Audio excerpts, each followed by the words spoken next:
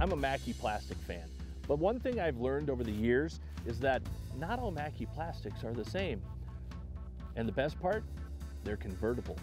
If you find yourself getting short bites, maybe it's time to modify your Maki plastic. So what I've done is I've taken a Jamei XL, just like that, which is great in some aspects. But if they're short biting, all I do, simply bite a chunk off and make it even shorter.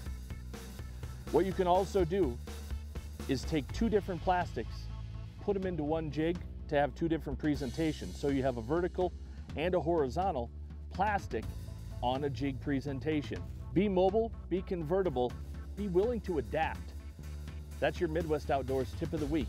I'm Chad Cummings. A useful little tip for you guys. When it's a windy outside and you don't have your shanty, keep your rod tip as close to the ice hole as possible because when you have that crosswind, it creates unusual and odd behavior with your bait. It can make it sway back and forth or even do spins, and that can turn off the fish. So right now I have very finicky biting bluegill, so I wanna keep my rod tip just above the water. You obviously don't want it to get wet and freeze up, but you wanna keep it as low as possible to make sure you reduce any wind movement in your line.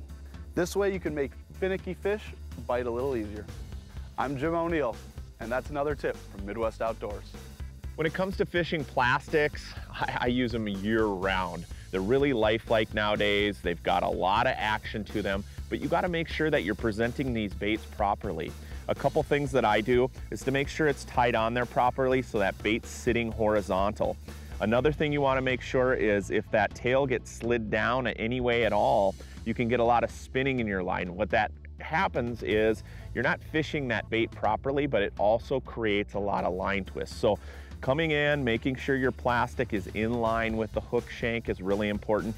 I like to rig my straight tail plastics if they're curved up a little bit. That way when I'm jigging, it adds a lot of action to that plastic. Fishing these baits correctly and make sure that if they get ripped in any way, that you're replacing that plastic is really, really important to catching more fish. Hey, I'm Tony Roach. That's another tip on Midwest Outdoors.